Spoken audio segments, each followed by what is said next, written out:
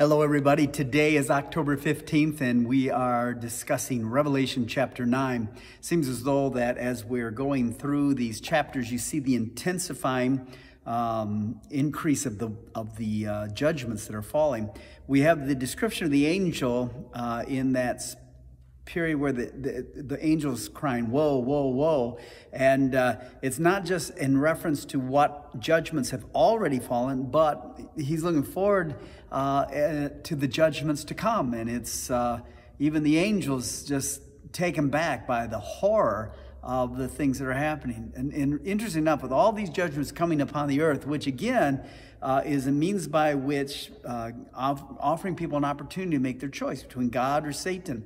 And uh, remarkably, the number of, pe- of, people here we see continue to harden their hearts and refuse uh, to yield over. It just reminds us all over again of Pharaoh in Egypt and God bringing the plagues down upon them and pressure upon it, and how they uh, hardened, uh, Pharaoh hardened his heart and, uh, and, and lived in that rebellion. And, and it's hard to imagine these kind of uh, of judgments coming upon the world, and people continue to harden their heart. In this fifth trumpet here, we, the Bible describes an angel, or rather a star, falling from heaven to earth. We know that that is Satan, that's Lucifer, uh, when Lucifer fell from heaven, but here's his description here that he fell.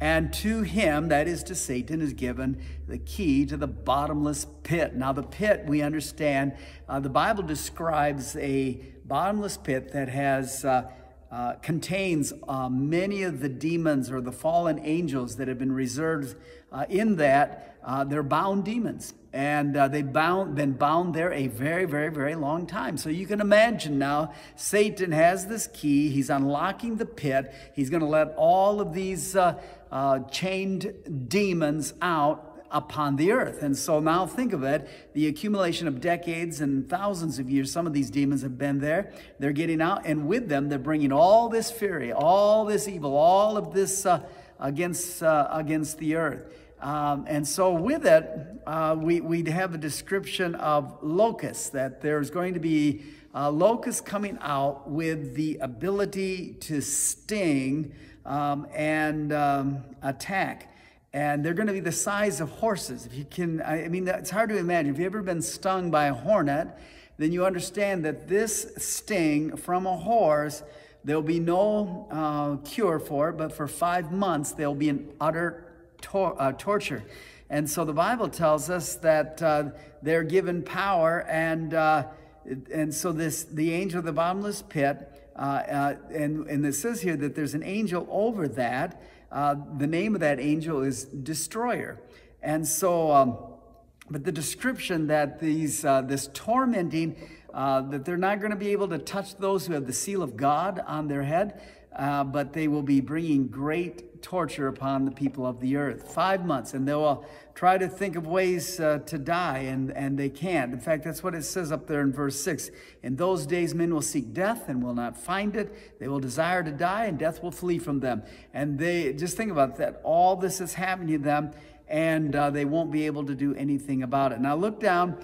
Uh, in the uh, in, in the description of this of the sixth trumpet, uh, there we have uh, this army, this incredible army that's being released. There's a 200 million man army that uh, no doubt is the uh, accumulation of all these that are going to come against Israel. They're going to they're going to be coming against uh, to destroy that land. Of course, God's going to intervene, but they are going to come and they're going to kill uh, a third of the world, a third of the population is going to die.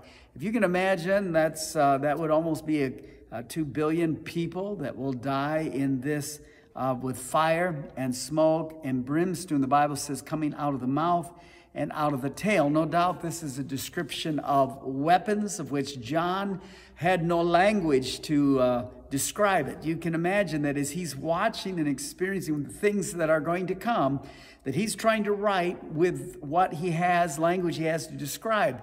This, no doubt, sounds like um, artillery coming from modern day equipment of which he wouldn't have access to it. And so he describes it as uh, fire and smoke and brimstone coming out of the mouths and out of the tail.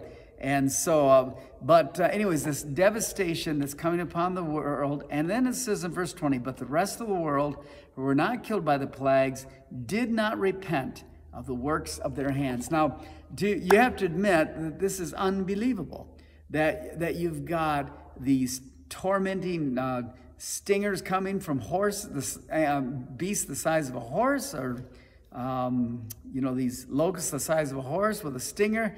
Uh, men were begging for die. They can't die. They, uh, they're, they're experiencing this uh, uh 200 million uh, men army and uh, the, all of this that's happening. And yet the Bible says that they would not repent. They would not yield over. Um, they just cursed God. That's uh, basically that's what we're, we're saying here. They refused God's grace, His goodness, His kindness, His Son, and uh, and so this judgment is coming upon them. But I want you to notice something here: the church isn't around. I think that we've got to continue to reinforce this because there's some confusion, some people who believe the church is going to be here through uh, all or part of the tribulation. Do not believe that. I believe in chapter 4, the church is taken up into an open heaven. They're robed, they're seated, they're uh, crowned, and uh, there's no more mention of the church. And so uh, uh, you and I have something we can be very thankful for, and that is that uh, our Redeemer, Jesus Christ, has not only forgiven us of sin and rescued us from hell, but he comes with a reward in his hands. And there is going to be uh, that snatching away of the church, as we read and described in Revelation chapter 4. And, uh, and then those that are left behind, those uh, uh have a choice. They'll either give their lives to Jesus or they will curse and blaspheme God. But the devastation is coming upon the face of the earth. I'm saying again, you don't want to be here. And thank God if you're a Christian, you don't have to worry about being here. But uh, I would say to you that you and I need to examine our hearts, make sure that our uh, lives are in line with the truth, that we're living for Jesus, and that we're ready. Because I believe with all my heart Jesus is coming soon.